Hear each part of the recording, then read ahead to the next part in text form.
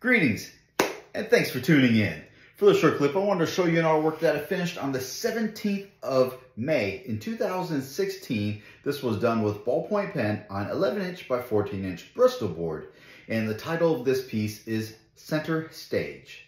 Now, if you notice in this, there's a few different elements that you will see reoccurring through a lot of my artworks. First, one of the most obvious is the circles.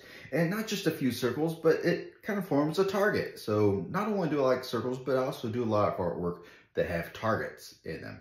Uh, in the background, you see an X. So there's a lot of my works that have the uh, X design in it.